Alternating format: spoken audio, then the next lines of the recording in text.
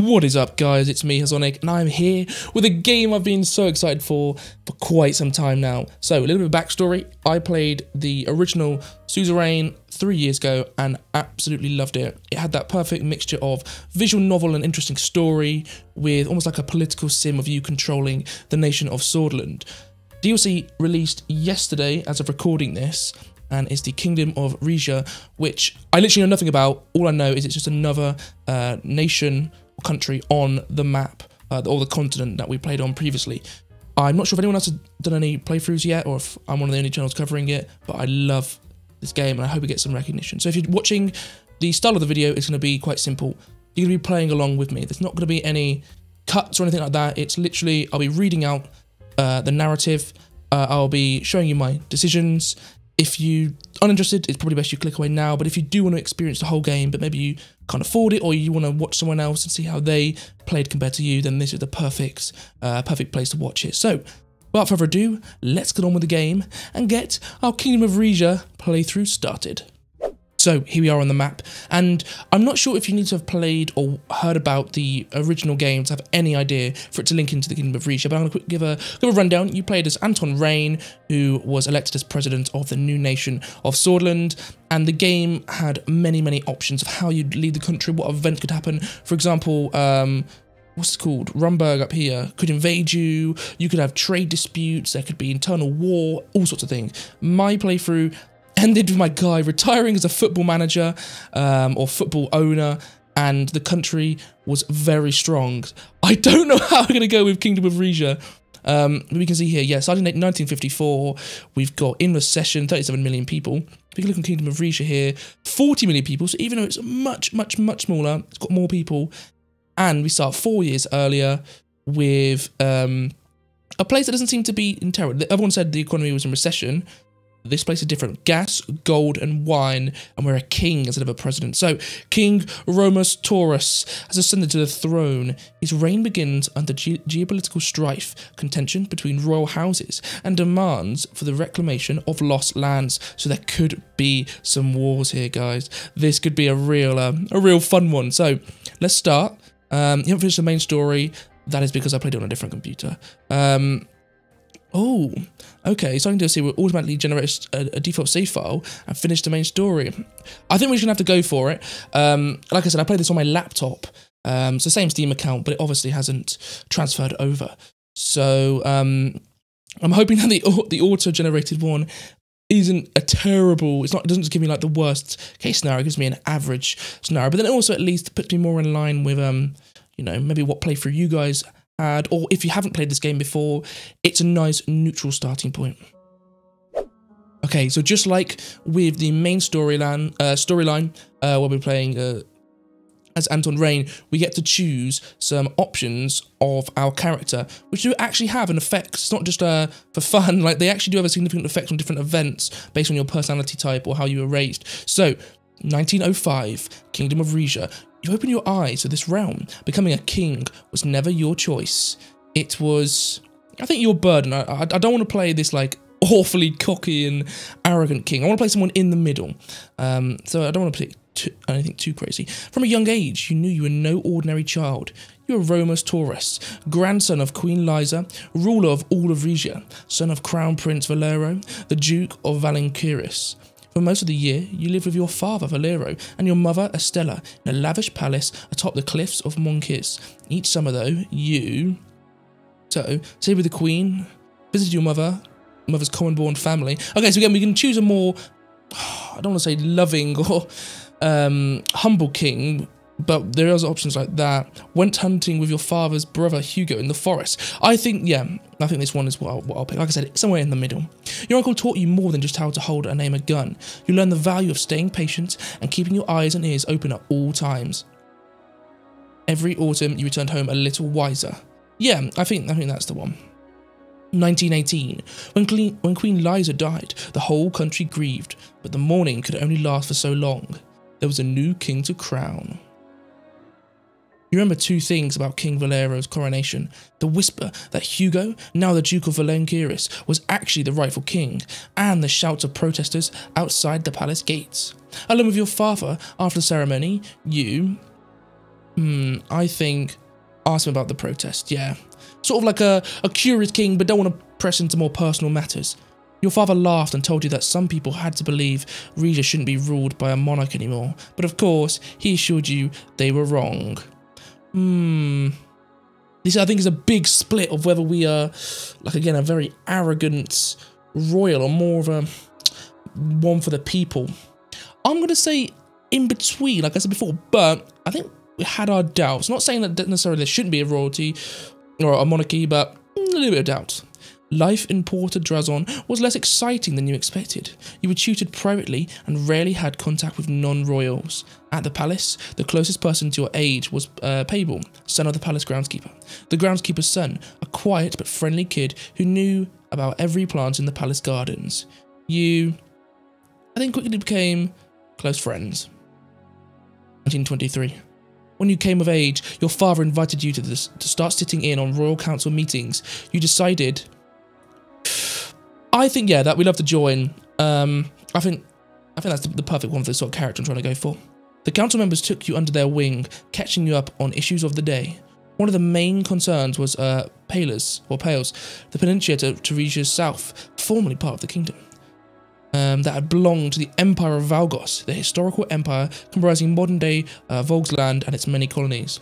Now that the empire had fallen, war councillor General Tadius Azaro, so one of the three noble houses, was launching a military campaign to take the newly independent region back.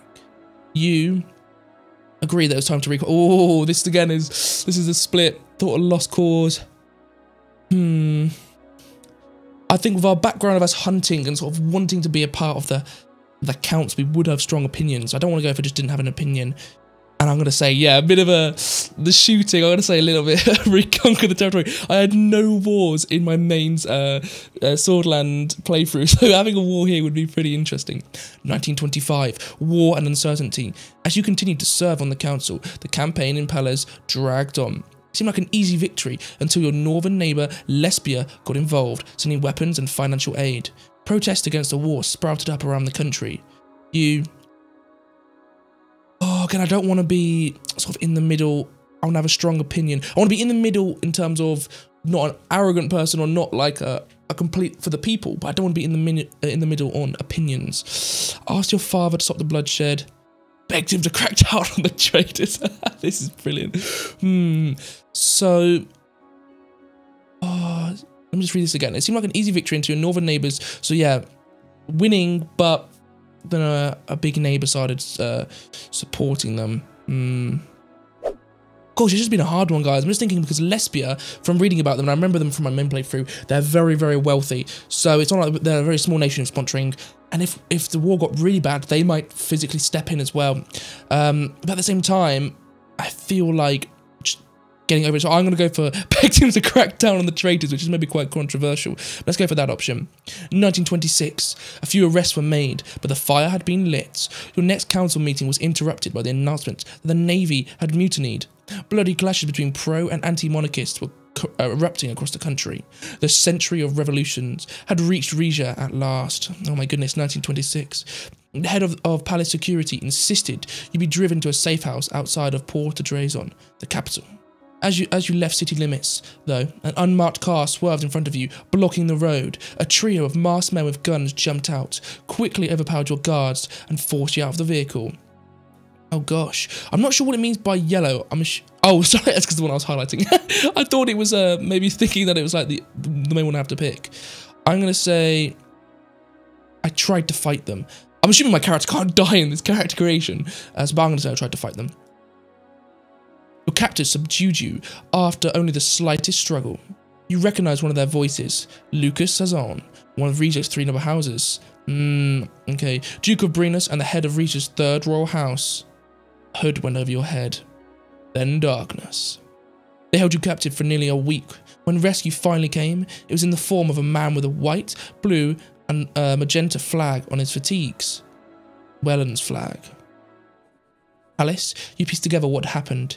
In desperation, your father had pleaded for, for the aid of a neighbouring country, Wehlen, Rizia's northwestern neighbour, to neutralise the uprising.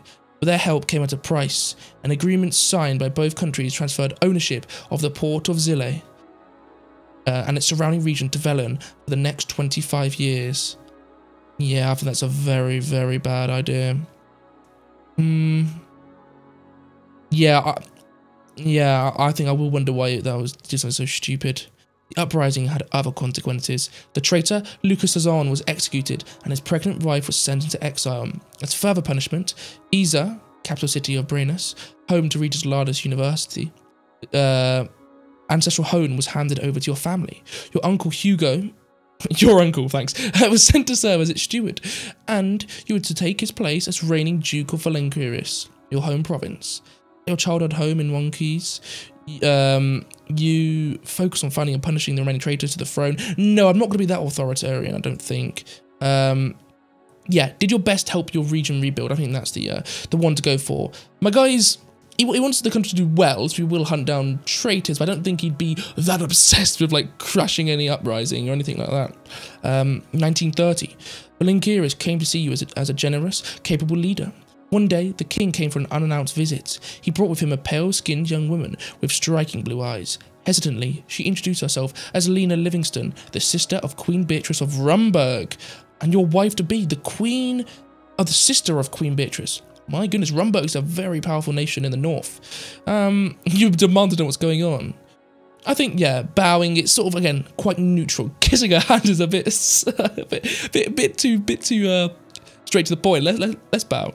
King Valera told you that he had no choice. With Wehlen uh, descending into civil war, Rizia needed a new ally. A partnership with the Kingdom of Rumburg, cemented with an, an arranged marriage, was in the best interest of both monarchies. Besides, he added, you would surely grow to love her. Uh, this, uh, this one, again, I'm quite split. Like, not as my character as me, but I think he's more right than wrong. Um, especially for the for the good of the nation. You and Lena uh, began uh, having long conversations about your royal upbringings, hopes, and dreams. By the time you lifted her veil, you knew it was true. oh, okay, I thought I was going to say, by the time you lifted her veil, she was ugly as hell. okay, uh, the, the years after your wedding and the birth of your daughter, Vina, were the happiest of your life. The only trouble was. Um, okay, these are these are quite personal. Um, you couldn't stop yourself.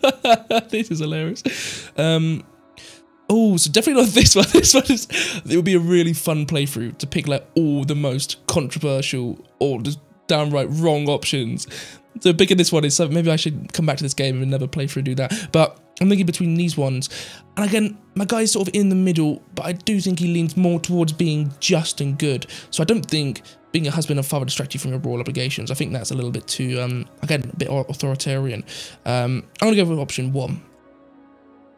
1933. With Rumburg's help, Rizia's economy bounced back to levels it hadn't seen since the glory days of Queen Liza. Wealthy Rumburgians started moving to the cities, so did economic migrants from neighbouring Morella and Andardia, and Vezek seeking asylum from the civil war. You... Ooh... Hmm... Hmm...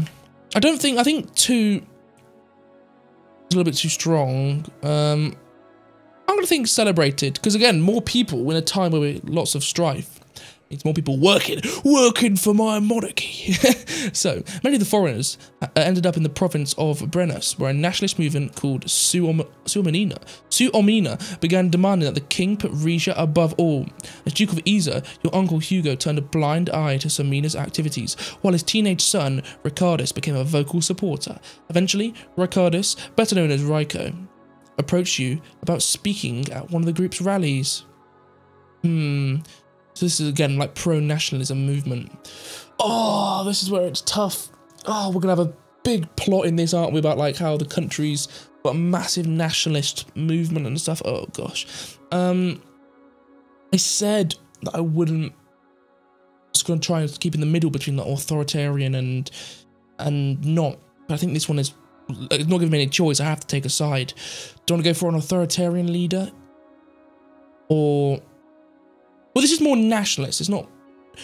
Oh, gosh, these decisions, I always find them so difficult, gentlemen.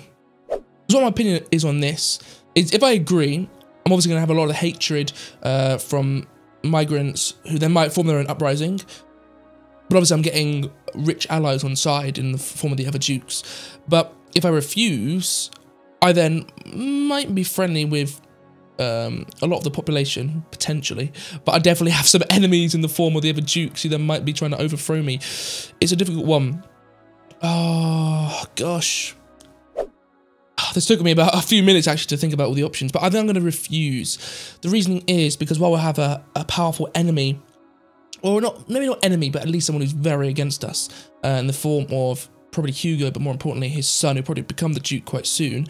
Um, I do think they'll potentially be easier to control than the country becoming quite nationalist, and then the civil war breaks out as the the, uh, the, the extreme nationalists maybe try and take control. I, I think it's the long term refusing is better. about tricky one, guys. You distanced yourself from the organization and from Raiko. Your uncle was displeased, but said nothing. A few years passed. 1942, you slowly realised that the uprising had broken something in your father. He began neglecting his duties as he became both increasingly preoccupied with threats, both real and imaginary. Outside of the country, he gained a new nickname, Valero the Frail. Oh gosh. You found yourself under more and more pressure to make up for your father's shortcomings. Lena was patient and understanding, one of the many things you loved about her. For her 10th birthday, Vina asked to go on a sailing trip with the two of you. You I'm going to say happily come along. I think a family man's quite important when, when you've got all the uh, all the pressures of all of that. In the middle of the Gulf of Valenkiris, the weather turned unexpectedly stormy. When the captain tried to turn the boat around, it was hit by a breaking wave and cracked in half. Oh my gosh. The Coast Guard got uh, to you and your daughter on time, but the time, by the time they pulled Lena out, she was barely breathing. They rushed her to hospital. She died holding your hand. Oh my goodness, 1942. This is this is quite a bit before we start, but only about eight years. You were devastated. After the funeral, your mother Estella came to visit and found you hardly able to function. She promptly moved in to help out with Vina. Hugo suggested your turn to uh, Regal's official religion, to cope with your loss. Again, this is uh, this isn't as major decision as the. I don't think. Um, became less of a believer. No, I think, I think we will agree with that one. Meanwhile, the situation in the capital worsened. uh, region uh, nationalists continued to process, protest the loss of Zile, the region that reaches nor uh, north, northern tip, and the country increasing diversity. Rumours spread that an anti-monarchist movement was beginning to grow once more. Your father called Hugo back to the capital to keep an eye on his council. Hmm. Hmm.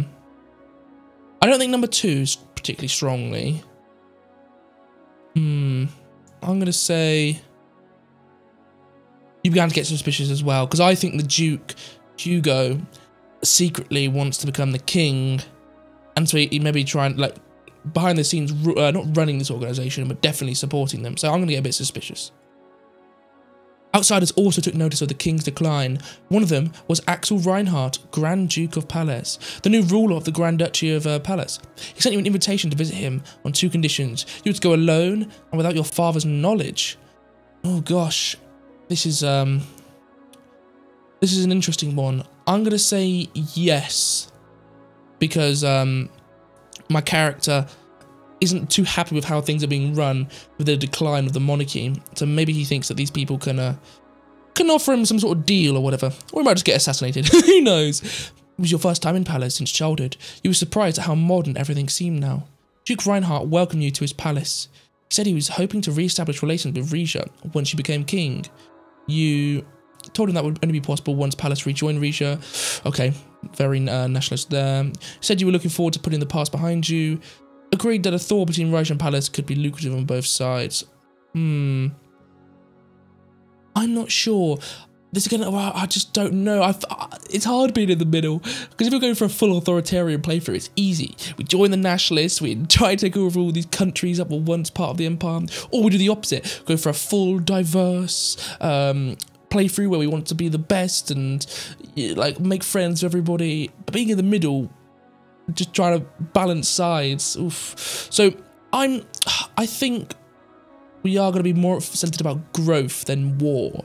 Um, because obviously if we go to war, but we've got all our, our own internal strife happening with uh, nationalists trying to rise up to take us on, putting all our resources into a war, which is then getting supported by big democratic nations to the north, um, I'm not sure that's very sensible. So I'm, I'm going to go with number three. The Duke was satisfied with your answer. He spent the next few days getting to know him and the duchy better. Afterwards, oh, told your father about the trip, lied to him where you'd been. Oh gosh, I'm gonna have, I'm gonna lie because I feel the the, the father's already on his last legs. I think telling him that you've been to his enemy's um his enemy's place would just kill him. So I'm, I'm gonna have to lie. Few days later, the king summoned you to the capital for a confrontation. He'd had his personal security force, the Golden Guard, surveil you in Pales. He accused you of betrayal and ordered you to tell him about your meeting with the Duke. Ooh. Uh, there's no point in not lying now. He's already caught me. I'm going to give him every last detail. You stayed close with your father in the months that followed, though you were both too busy to see each other often as you would have liked. As Vina grew into an intelligent, self-reliant young woman, your mother moved back to the capital. She called you one night, her voice shaking. The king was dying. He'd gone straight to bed after dinner. When your mother went to check on him later, she found, found him comatose in the bedroom. The doctors suspected a heart attack. You rushed to see him. Your father looked pale as a ghost. It took all his effort to speak. In a hoarse whisper, he warned you not to follow in his footsteps. Your reign would be a fresh start for House Toras. A new chance to take back the lands that were lost. He closed his eyes. Oh my goodness. Only after funeral gather funeral, gather at the palace with your mother and daughter did the realization begin to dawn on you. From the day you were born, your entire life had been leading to this moment. Now it was finally here. 1949, we're done. The Rizia Prologue, Chapter 1, King Romus. Oh my goodness, guys. We can actually we can actually customize our guy. Um Oh, can we? Crown with no hair. Hmm, okay. There we go, guys. I have got my character, Romus Toras, uh, customized. I really like him. He's got the, the, classic gold background with his red royal attire on. He actually looks like one of the uh, Coldstream guards from Buckingham Palace, so that's why I think he looks pretty cool. And then facial hair, the Regium with a massive mustache and a little uh, chin action going on there, and then the professional haircut. I'm happy with that. I am ready. Are you sure about your customization choices? Because you can't change them, and of course I am. So that has been a long time then. We've done uh, most of this video so far going through the prologue. So if you're still watching, then thanks a million for keeping up, and I hope you're as excited as I am, because now I'm very excited. So, strategic fo focus selection panel. As King Romus Toras, you have extensive power to enact and shape the course of your nation. By choosing different focus options, you can improve the strategic direction of your country. So, government structure intention. Opting for absolutism would solidify mon uh, monarchic traditions, concentrating power and authority within House Toras. Alternatively, considering reform aligns with House Sazon and the Rizian People's Party, indicating a potential shift towards wider civic participation and perhaps nuanced resource redistribution. Conversely, adhering to the status quo seeks to uphold the pre prevailing balance of power, some provincial autonomy. I'm going to go with the status quo. Again, going quite in the middle, not going absolutism and adding even more sort of monarchy power, but not going for reform and changing too much. Just going to keep things as they are for the moment, at least in, in the long run. So economic strategy. A focus on strengthening our resource economy emphasizes leveraging our natural assets, safeguarding our long-term energy commitments. Alternatively, efforts to diversify the economy away from sole reliance aim for a more balanced financial landscape, potentially mitigating risks associated with over-reliance. A mixed strategy, on the other hand, would give us more flexibility. Hmm. I think so. Strengthen hmm, the natural assets. So we'd go even more into gold and gas and all of that. It's difficult again because strengthening could give us just a huge amount of money, but it's all about risk. If we went into a war and suddenly our, our you know, our gas factories got bombed, our economy would just disintegrate. But at the same time, by focusing on that, like gas and oil and gold, all the things we have a lot of, we can make a lot of money to then put resources into other things like good road networks or trains or investing in military or, whatever. So I think strengthening the resources, you could go for a mixed approach, but I think even with stuff like this, I don't think a mixed approach is, is enough. I think you need to focus all your resources either in strengthening or diversifying. So strengthening resources, let's go. Foreign affairs, Third way, appeasement or intervention, uh, interventionism. In face of global tensions, Rizia stands at a strategic nexus. Interventionism champions a proactive military stance. Appeasement fosters diplomacy with Wehlen and courts the monarchy of Rum Rumburg. Opting for the third way veers towards regional alliances, notably with Derdia, Pales, and Morella, sidestepping dominant power. So, interventionism is we're ready to strike, I think. Appeasement means we're trying to suck up to the big powers in the area. Definitely not one I want to do. Third way, though, I think is the one, it's between the third way and interventionism. Third way, we're, we're making ties with the small nations around us and trying to avoid the big nations. Interventionism, oh, I said to the guy, the Duke of Pales, didn't I, that we would make friends. So maybe I ignore him for the moment and try to invade some other people. Let's go for interventionism. Okay, as King Romus Toras uh, okay, so that's the same thing. Military branch focus. Shift to the Rizian Air Force could position us for potential air superiority. By exploring advanced pilot training and considering an expansion of our bomber fleets, we might enhance our capacities for precision strikes and extend our bombing operational reach, aiming for a balanced control in our airspace. Rizian Army. Oh, so Rizian Army is actually going to cost us more, and the Rizian Navy is the same. So, Rizian Army. Directing resources towards the Rizian Army could pave the way for enhanced ground operations, potentially introducing advanced armoured vehicles, artillery, and modern infantry equipment. Embracing these tactics and training methodologies might elevate our territorial defence potential, providing opportunities to uh, explore more strategic land campaigns or the Navy. A strategic tilt towards a regional Navy could underscore our maritime aspirations by evaluating the integration of advanced warships designed for naval bombardment and amphibious landing capabilities. We may set the stage for a strengthened naval presence and a broader influence in international waters. I think the Navy, it's split between the Navy and the Army. Army is obviously important if you generally want to invade people. But I think the Navy's more important for going for an economic stronghold where we have lots of power in the area. For example, if we're exporting a lot of gas, oil, and gold, having a strong Navy means we can protect those ships. Having a strong Navy means if there's anyone getting a bit saucy with us, we can roll our Navy up to their up to their port, up to their capital city if it's on the on the coast or whatever, and uh, get them a bit, uh, get them wet in their pants. Um, none. okay, giving us more budget, and definitely not going for none. I think Rizian Navy. It also has only one budget, but saying that, I oh, we've got budget up here. Yes, we do. We've got we've got seven budget.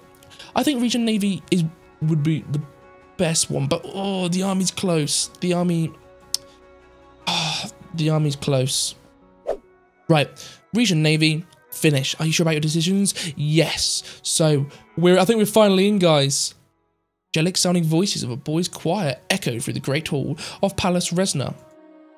Palace Resna uh, is the seat of government for the Kingdom of Rizia. Okay, continue.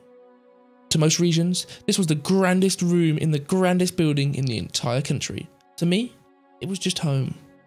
I remembered wandering between the mosaic tiled columns as a, bo a bored teenager, groofing off with Pablo in the upper gallery as my father met with foreign dignitaries. And of course, this was where I had married Lena leaned forward in the Silica Aurica, the gold-plated wooden throne on which all monarchies of Rizia were coronated. The hall before me was filled with nobles, politicians, business magnates, even movie stars. A television crew moved up and down the aisles, broadcasting the ceremony to the Rizian public for the first time. My mother was sitting in front in the front row next to Uncle Hugo. Tradition dictated that in the absence of a king or queen consort, the seat next to me would be filled by the successor to the throne, Vina plucked at a stray thread in her gown. How are you feeling, father? Ready for the next chapter? Honestly, a little nervous. My feelings are none of your business, woman. Sure, stop fidgeting. The cameras on this. Um, ready for the next chapter. I think, yeah, going in strong. My daughter smiled. Me too. I wish mother was the one sitting here that. Wow. Oh, sorry, I thought you meant like instead of me. I was like, what the hell? That's a bit, a bit intense. The final notes of the coronation him. By his sword I live, rang out. An expectant silence filled the hall. It was broken by the sound of shuffling footsteps. The cameras followed. Grand Wiseman Salignatius. What the hell is this? Oh, it's the um, high priest. Okay. As he walked slowly down the central aisle, bearing a velvet cushion. He presented it in front of me. On it was a Toras crown, a black onyx orb, and a scroll containing the words the royal oath. Take the orb, look at the crown. I think recite the oath first. I took the scroll off the cushion and read aloud from it. I hereby pledge myself. uh, in service to the great nation of Rizia and its people. I promise to guide my country with a steadfast hand, to uphold the laws of this land under Saint Ruik's watchful eye, to wield the sword of justice and the shield of mercy in equal measure. All this shall I do until the day I die. Take the orb. Lifted the orb off the cushion and ran my fingers across its smooth surface. It was inlaid with a trio of diamonds representing the three royal houses of Rizia, Toras, Azaro, and Sazon. Look at the crown. I Gaze at the Toras crown forged when my family took the throne 150 years ago. It was made of pure gold, adorned with two twisting spires resembling bull's horns. Look at Estella. I caught my mother's eye. She gave me a consp uh, conspiratorial wink. May Saint Ruik fill you with his Holy Spirit on this day, as he did your ancestors before you. With trembling hands, Grand Wiseman Ignatius lifted the crown off the cushion. I could spot a grey hair still clinging to its inner rim, my father's. May you keep the promises you have made before God and your people. Crown came down on my head. Its heaviness surprised me. By the divine power, divine power invested in me, I proclaim you sovereign king of Rizia. Arise, King Romus. Stand up, oh my God! I stood. The, I stood. The choir broke into "On Shores of Gold," the Rizian national anthem. Stop them and make a speech. oh God! Um, proceed with the coronation. I decided to proceed without making a speech. Everyone in the crowd bowed their heads as Vina and I made our way down the aisle. I passed my cousin Raiko in the second row. He kept his head down and didn't acknowledge me. As we kept walking, I recognised various other members of Rizia's three royal houses, as well as monarchs from distant kingdoms. The entire back row was reserved for the Rumburgian royal family and their entourage. I could feel my sister-in-law Beatrice's eyes on me. We reached the end of the hall, where a spiral staircase led to the palace's balcony. I've got to do this part alone. Come, Vina, let's greet your future subjects. what a statement. My daughter beamed and put her arm through mine. We walked up and up the stairs until we came to a door. Stepped out onto the balcony. The sunlight was so dazzling I was almost blinded. When my eyes adjusted, I regarded the scene below me. Thousands and thousands of people were packed onto the palace grounds, some waving the Rizian flag, others the House of Toras banner. Just beyond them at the gates, the police easily held back a small pocket of protesters. I made little attention to them, I was focused on the noise of the crowd, an overwhelming roar that gradually curved into a single chant. Salun, what the hell does that say? Salutenus axa regu novus. Sounds like Latin. All hail the new king. Oh my god, guys. Oh my god. We're in. We're finally in. It only took about 30 minutes.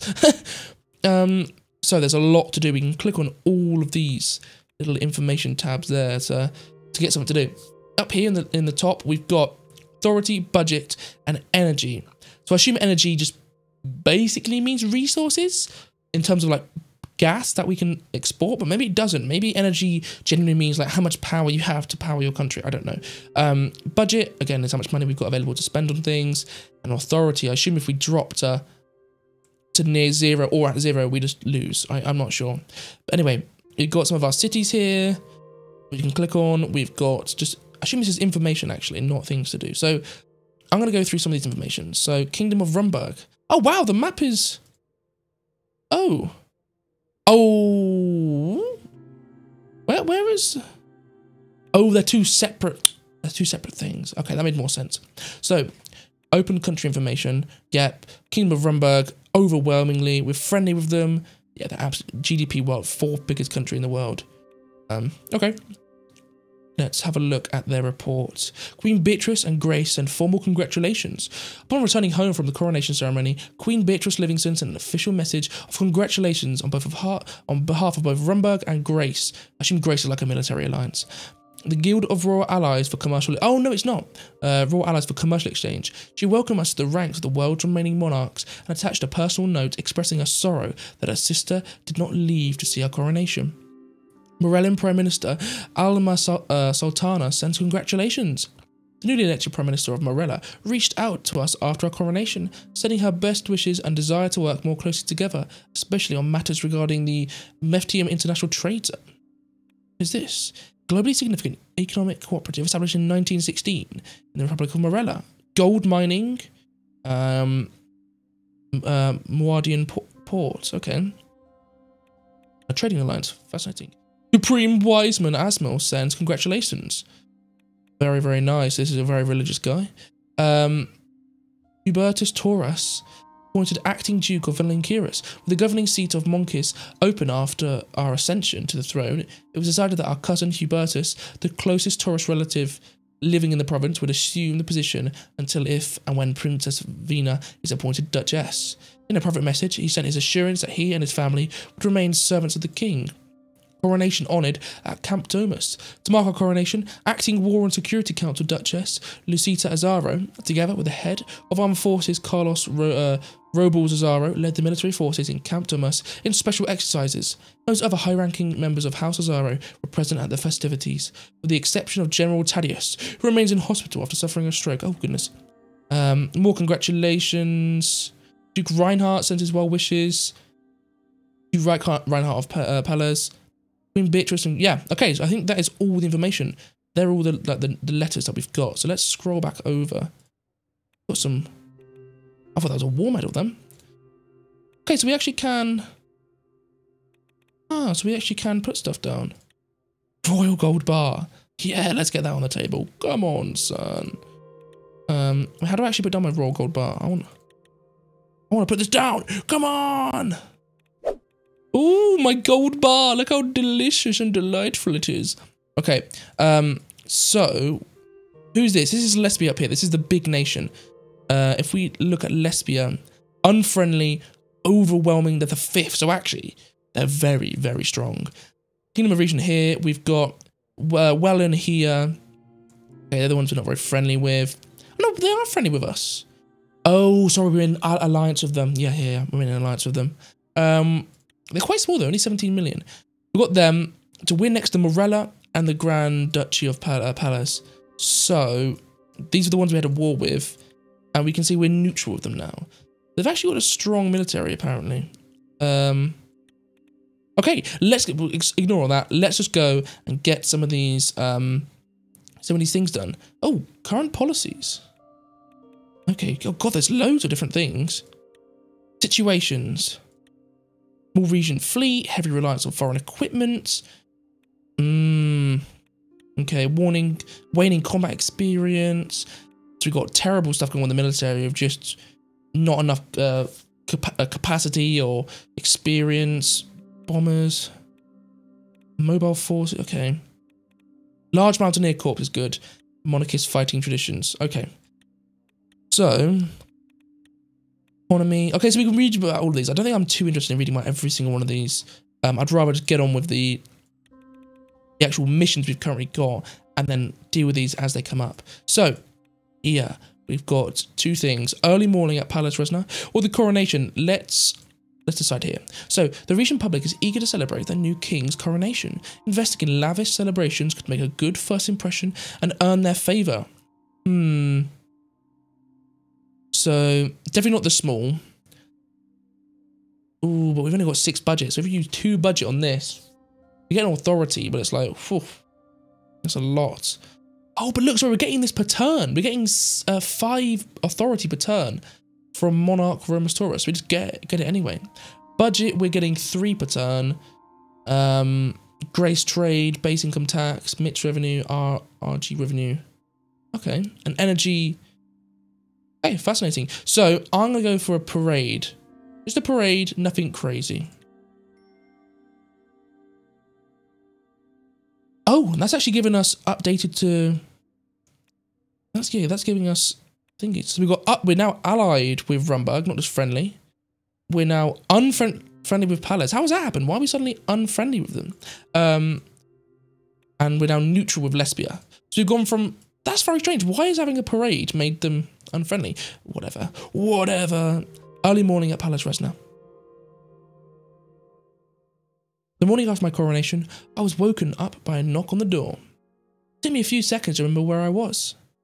The royal bedroom on the top floor of the residential wing of Palace Resna made the in Toras Palace in Monkeys look shabby. Ornate gold trim covered the walls. I was alone in a bed that could easily have slept four. The knocking on the door continued. Go away, I'm sleeping. Who is it? Door swung open. Pavel walked in beaming. So Pavel is head butler to the King of Rizia. Okay. After I'd left for Monkeys, my friend had worked his way up to ch chief butler. It was hard to believe he was now head of my royal household. Rise and shine, your majesty. I don't know how to do like a, a southern style voice. Um, it's good to see you, Pavel.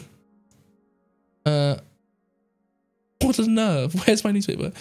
Good to see you, Pavel. You too. He drew back the heavy velvet curtains. Sunshine flooded the room. Romus Toras, king of Rizia, you've come a long way since we were kids. So have you, Mr. Chief Butler. Not bad for the groundskeeper's son, of course. It helped to have friends in high places. Looked me in the eyes. Forgive me if I'm overstepping. How are you doing? Losing your father must have been hard for you. I think I think it's complicated. There's, there's no should. You feel what you feel. He opened the doors of my arm armoire, oh, I don't know what the hell that is, and began pulling out items of clothing. You have quite the packed schedule this morning. Why don't you eat breakfast with the girls while I get your outfit ready? That sounds great. Queen Mother Estella and Princess Vina must be waiting already. You should get a move on. Don't worry, Your Majesty. I'll make sure you're the best dressed king in Rizian history. Oh, thank you very much. Um, even more fashionable than King Darius the Debonair. Um, he grinned. I'll do my best. I haven't forgotten. Bimere volu un. I can't read the bloody Latin, I can't lie. Uh, I recognise the slogan we made up as kids. Two tides rise, one sun sets. Um, thanks, Pavel. Let's catch up later. Enjoy your breakfast. Sitting in my dressing gown, I headed downstairs. In the eastern dining room, an enormous breakfast spread had been laid out. My mother was already sitting at the table, digging a spoon into a single grapefruit half. To record this. I need to do a playthrough where I just play the, the most dickhead of a king ever. Every like uh, opportunity to speak, I just always go with the worst one. I need to do it. If if the series does well, or even if I just really enjoy this game and I want to play it again, I think that's what I'm gonna do. Good morning, mother. Same to you, darling. oh, God, maybe that voice I shouldn't do. Uh, despite the early hour, my mother was already in her full makeup. She dabbed at her lips with a napkin. I hope you're satisfied with yesterday's coronation. Your father wasn't nearly as well attended. Can I say, my people love me. Um, um, that's only because of the TV cameras. Oh, don't sell yourself short. What did he say to you before he died, by the way? I never asked. Um, yeah, I'm going number two. He must have he must have been talking about Zile and Pales, his great follies. It's a pity he didn't live to preside over my homeland's big return to Rizia, but soon you will. Hmm. Hmm. I think I'm gonna go with this one. I'm looking forward to that day. But don't let my nattering on you keep from eating. King needs energy. She handed me a Rosetta, the traditional rice and quince custard tart. The crust was exceptionally flaky. Just then, Vina came bounding down the stairs. Isn't it a lovely morning? My daughter kissed mother on the cheek, then gave me a shy wave. I nearly got lost on the way here, Grandma. Why didn't you tell me this place is such a big library? Because I didn't want you to hold up in there all the time. Our grandmother's got to see her granddaughter every so often, you know. Vina eagerly took a plate and started piling it high with pastries. Mother clicked her tongue disapprovingly. Not too many of those. The sweeter the taste, the wider the waist. Don't you agree, Romus? Hmm. Hmm. Oh god, I, I wanted to go something normal, but the answers are either extremely extreme or... hmm. I'm gonna say this. Vina took a bite of a Rosetta and gave an exaggerated sigh of pleasure. Mother rolled her eyes. Suit yourself. Now, if anyone in this place could make a halfway decent strudel, that would be worth ruining one's figure for. We ate for a while in silence. Vina looked lost in thought. Finally, she spoke up. Father, I wanted to ask you something. You know that I'm 18 now. Um, yes, and, um, Hard, I have more responsibilities. Um, I think where where to study. I mean, that's the most sensible one. That's not quite. That's not quite what I had in mind. I was thinking I'm old enough to accompany you to your council meetings. It's unusual for a female heir to join the council, I know, but didn't you do the same when you were my age? Hmm. Hmm. I think I gotta, yeah. I think you got if you got an interest, it might be it might be worth it. Liza the Great is a huge legacy for me to live up to. Hmm.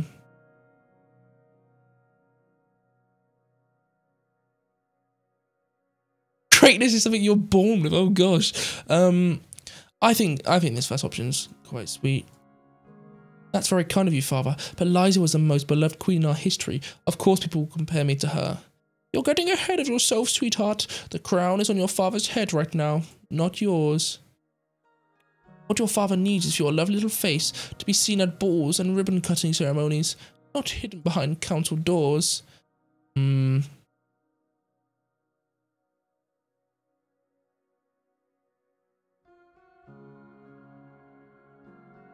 Hmm. Oh gosh, this is a. I need to redo this a bit, more properly. Um. I think this bottom one is is the best one to say actually. Going to balls won't teach me how to how how decrees are made or how to negotiate with foreign leaders. Only time served in the council will do that. You want to spend the best of your years of your life cooped up in the den of snakes? The council isn't some wise, all-knowing entity. Everyone on it is only looking after their own house and their own stature. And God help you if you get in the way of either of those. Hmm. Gosh.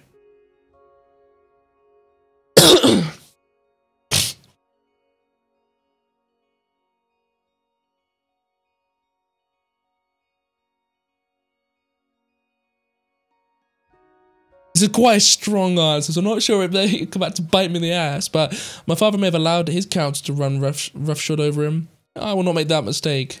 Getting a getting a bit uh, feisty with the other dukes might cut my reign short, but let's go for that option. Navigating the council's self-interest will be part of my future duties. I need to learn how to do that too. I promise it will be like I'm not even there, and I'll step out in public as much as I can. Then looked at me with pleading eyes. Um, I, I, I think she can join because she can then um she's supposed to then become the, she's supposed to become the Duke of um oh what the hell was that place called? Volantis or whatever the hell the, the, the Duke the duchy we just came from is so she needs to have some skill to rule, to rule that place. And then if she does become queen later on you know that's that's the I might still be alive. Well actually no, they do say you're supposed to take the job until you die but Thank you. I can't wait to start. Oh, I'd better refresh myself on Rizian laws. She pushed her plate away and dashed back up the stairs. Once she was gone, my mother lit a cigarette. You do realize that you'll be nothing but a liability to you in that room. Um... I think, yeah, I think this one's a good. She's the heir apparent. It'd be good education for her. I hope you're right. The clock struck quarter to nine. My first council meeting was starting soon excused myself from the table. As I was leaving the dining room, my mother cleared her throat. He always believed you'd make a good king, you know, even if he didn't always show it. Hmm, thanks for saying that. I did back upstairs to fetch Vina. It was almost time to go. Okay, guys, so we've got a few more information events pop up here. I'm not sure what these little bright lights are. I think it's because it's maybe telling me that like, there's someone yeah, Venatora. So just me there's a new character we can read about. Okay. And then the ones here, I think are telling me about important stuff with my nation. Okay, so we've got some reports coming. So I have actually read um, the overview section here. it's just a lot of, there's a lot of good. We've got good transport networks. For example, we've got pretty decent international ties. Um, with the military, we have got, if we have a quick look here, we've got, you know, uh, very, very small actually, um, but it's saying we just got we're lacking a few aspects. There's nothing cripplingly wrong going on in the country so far. It's just you know there's a, a pro nationalist movement that's sort of forming and working its way up. Bad worker rights, the economy side, uh, we, you know, bad tourism. Yeah, nothing crippling though. So let's read some of these events. Valinkir, read the report. Baron and Baroness of Valenkier reaffirmed loyalty after absence. Security forces were dispatched to the estate of Lord and Lady Julio and Octavia Torres following their conspicuous absence from our coronation. In the past, the couple was suspected of spreading false rumours discrediting King Valerio's claim to the throne. However, they testified that their absence was due to a bout of food poisoning from improperly prepared shellfish and enthusiastically reaffirmed their fealty to King Romus and his family. Okay, nothing, nothing too crazy there. 1950 to be an exceptional wine year. The Cantuava family uh, vineyard in Calais has begun bottling its latest batch of Cavil, the first to follow last year's record harvest. They have named it Ramos the Red, claim 1950 will go, will go, down in history as an exceptional year for Rizian wine. That is, um, that is just delicious, isn't it? Um, finally, we've got two big things here. Read the report. House of Delegates hold first allegiance ceremony. The occasion of the first Rizian coronation since the founding of the House of Delegates, Majority Leader Daria de, Daria Rava um, okay, uh, called a special se session when members took an oath of allegiance to the crown. Each parliamentarian was asked to stand and affirm his or her commitment to serve under King Ramses's reign with dedication and integrity. Okay, nothing too crazy there. We've now got our next little event. The stairway to the royal council chambers was longer than I remembered. Took a moment to catch my breath in front of the carved oak doors. Hurry up, father. It's not very kingly of you to be late. True king is never late, it's ever too early. um, hmm. Ooh. Just give me a second. After collecting my thoughts, I pushed open the door and walked in. Everything was just as it had been in my youth. The high domed ceiling with its skylight that shone into the centre of the room, the oval mahogany table, the tall, backed red velvet chair where my father used to sit. My su slight surprise, the room was empty except for one man, my uncle. When Hugo saw me, he sprang to his feet. Romus, my boy! Um, embrace him. I think that's a. We could try and at least bring back some relation to him. We don't want this guy uh, getting angry with us. We'll meet everyone else soon enough, but I thought a private chat with your Grand Vizier would be in order first. His eyes travelled to the doorway where Vina was still standing. Although it seems he won't be as private as I was expecting. Are you staying, Princess Vina? My daughter gave a sh uh, shy nod. Yes, Uncle Hugo. I'm sitting in on the council's meetings. Um, I think I think that's yeah, that, that's that's the best one to go for. Hugo frowned as he processed this new information, then broke into a smile. Yeah, I think I think this guy's uh I don't want to say quite false, but I think he's it's all sun and shine with him, but really he's uh, plotting my downfall by as I keep going on, whatever. By all means, then, Your Highness, have a seat. Vina walked over to the table as I made my way to the red velvet chair. Once we were all seated, I turned to my uncle. Um, how have you been? Busy. Managing the royal transition is a full-time job in itself. Between that and visits to Raiko and Isia, I haven't had a day off since the funeral. As I listened to him, my eyes drifted towards the, the back wall. It was covered in portraits of Rizia's previous kings, included a newly painted likeness of my father. My dear brother, I do miss him, but I dare say it's time we had some fresh blood on the throne. There's been quite some time since your last you last sat in these chambers. I'll provide an overview for you. Would you like to hear it? Please.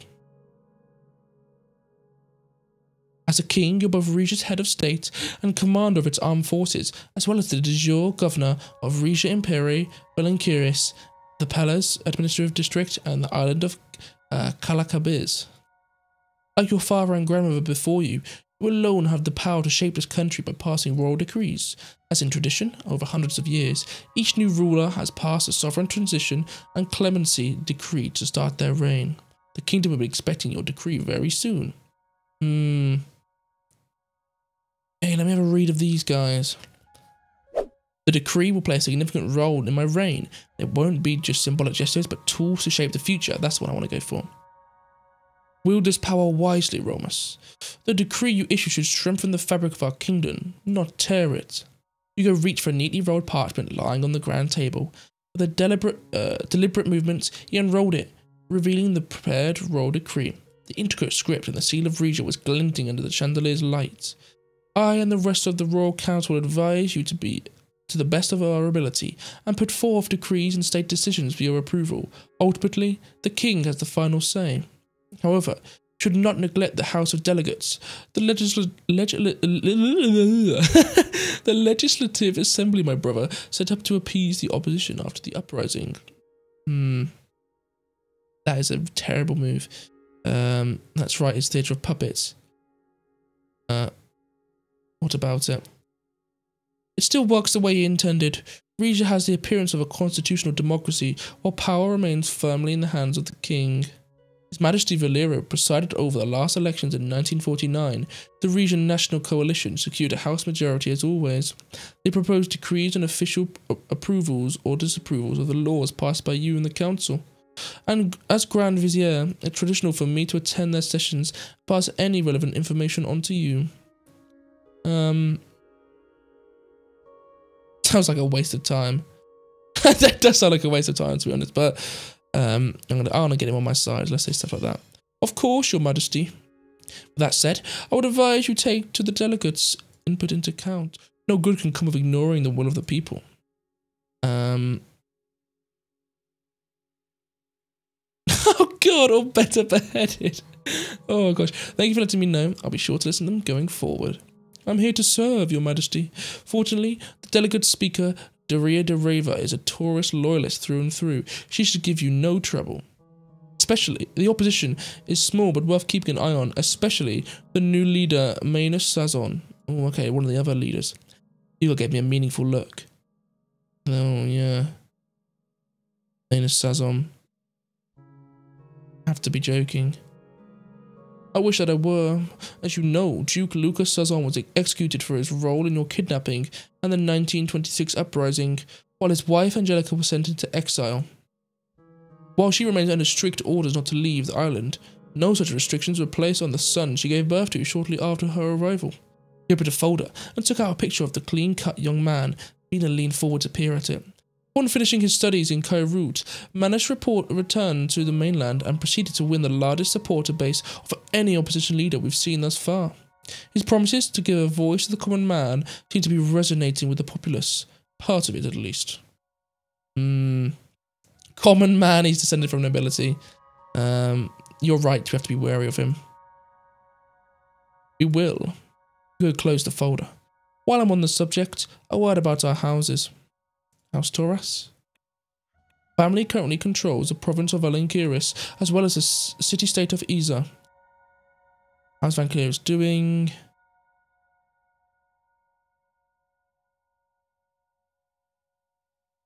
Yeah.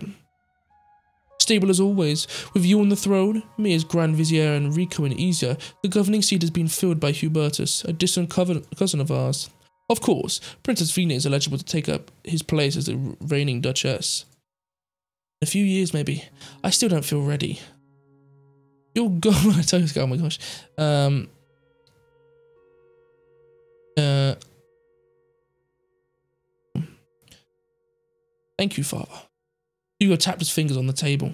In any case, Your Majesty, I don't expect any trouble in Val during your reign remains the wealthiest of Rizia's provinces and the least affected by crime. Keep their lives comfortable, and the locals there will stay loyal to you. Hmm. Hugo's face hardened. He's just been difficult since the Sazon rebellion, even more so now that the native regions are in danger of being crowded out by migrants. He spat out the last words with some distaste.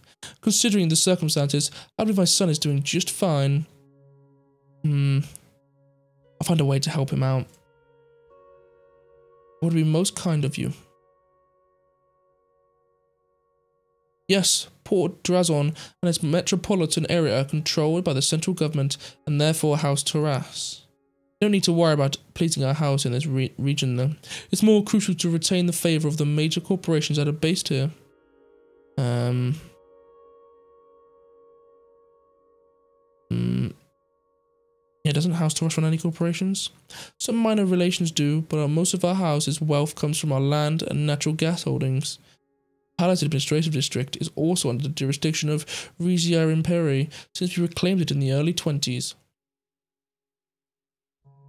Okay, as for the other houses, House Sazon. Yes, aside from Iza, which is now under Raiko's governance, all of Brenas is still their territory. The nobles swore fealty to the crown in exchange for keeping a hold on the cities and their estates. but the return of Angelica's boy could test that loyalty. He is the rightful Duke after all. Hmm. Yeah, I'm not happy with these people to be honest. Uh. Yeah, I think this is the right option. the moment, they're the weakest of the three houses. You do well to ensure they stay that way. Lest we forget, Wehlen is scheduled to return Zilly to Rizia next year. The Sazons expect the region to become part of their province, as it was before the uprising. Oh, so yeah, we gave that port to them, didn't we? Hmm. Yeah. Ooh, maybe a bargaining chip. Yeah, we could have a an, an uprising on our hands if if you know if, if they um don't get it back. So it's it's hard to balance. Now you're thinking like a king. And finally, House Azaro, Azaro, precisely. The rulers are of Cardes Monteclar and the stewards of the region military. Must be aware of the patriarch Thaddeus Thaddeus's poor health. The general suffered a stroke shortly after King Valero's death. Uh, yes, a shame I never got to know him. His daughter Lucita, the Duchess of Monteclar, volunteered to take his place as war and security councillor. You'll meet her soon. You should also know that the factions within our province have begun calling for the return of Pales again. Hmm. Ooh. Oh, it's, it's, it's a tough one. It's a tough one. Because I said I wouldn't go to war with them, but I, I, I need to have a think. I need to have a think. Um. Uh. Yeah, I, th I think this option for now. No matter your feelings on the subject, I'd advise you to take the house's concerns seriously. Well, I hope that was helpful. One more thing, as you're aware, a few years before your father's death, he reinstated the Golden Guard, an elite unit specifically designated to protect the king or queen. 12 guards. Okay. Right. Yeah, and where are they now? Here, sir, ready and able, Titus Gordian, what a name. The first time I noticed the man standing in the corner of the room, he was wearing a tight fitting golden blazer that barely concealed his muscular physique. He, Titus Gordian, captain of the Golden Guard, he and his men have been keeping a close watch on you since the coronation. What the hell? um, I'm pleased to meet you, Captain Gordian. Call me Titus, sir. Titus and his dozen men have been trained in the upper echelons of Rizia's elite military and police academies. Each has sworn an oath to protect the king and his family at all costs. Hmm. Great, looking forward to work with them. Yeah, I don't see any downside to them. Uh, apart from the fact they could be like Julius Caesar's moment and they just all kill me, but I, I, I highly doubt that. It's an honour, your majesty. He bowed to Vina. She looked a little flustered. But didn't Queen Liza discontinue the Golden Guard because she thought they made roles look elitist and because... He trailed off. Because she thought they were getting too powerful. It's why our current force is less than a third of the size it once was. Your father's always had a fondness for Rizian tradition, so he spared no expense in bringing the guard back, albeit in a reduced form. Um, you and your men better stay in line, Captain. um, um, I, I, I think that's a bit arrogant, but let's go for that one. I won't let you down, sir. Thank you, Titus. You may wait outside the chambers until this meeting's conclusion. Noon already. Shall we and the young heiress break for a glass of wine before the council con convenes this afternoon? Um, I'm your superior now. Oh my god. Right, gladly. We'll have much to catch up on. Brilliant. Let's, let's go for some, some drinks. I think your father kept a store of vintage Cantuavo in one of these cabinets. Thank you for the invitation, Uncle Hugo. And to look at my daughter in the eye. What an intelligent and well-mannered young woman you've grown up to be, your highness. You know how overwhelming the capital can seem compared to Monquise. If you ever have questions, don't be afraid to come to me. That's very kind, Uncle Hugo. Yes, too kind. uh, um, yeah, let, us say this one. What is my role as Grand Vizier, if not to advise the royal family? Vina finished jotting down some notes as Hugo went searching for the wine. Okay, so have a look at some of these other things. Decree available, decree available, decree available. So we've got three decisions we can make there, guys. Brilliant, brilliant stuff. But I'm to end the episode there. Yes, I know this episode was really about just getting the um, getting the start done, getting the the prologue read and uh, set up, and meeting some of the main characters that we're going to be uh, playing alongside. So not too much has actually happened in terms of making decrees, but you'll have to watch episode two for that, won't you? So if you're still watching now, thanks a million for supporting the channel. Uh, please do make sure to give it a like if you did enjoy, and subscribe if you do want to follow me for the whole adventure of this Kingdom of Rizia playthrough series. So yeah, guys, I will see you in episode two, where we shall discover what's in store for the king. Alright, guys.